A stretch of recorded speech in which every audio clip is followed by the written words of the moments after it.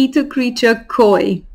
It looks like a fish because it's related to a Chinese tale about the, the fish koi that swam upstream, but only one made it to the top of the waterfall.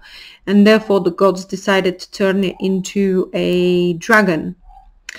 I'm going to write about the whole story on my website, but essentially this is an aether creature that brings on the medicine of, I'm going to have to remind myself looking in the phone, ah, perseverance, determination, willpower and strength. Because obviously swimming upstream and actually swimming up a waterfall, it will take a lot of effort.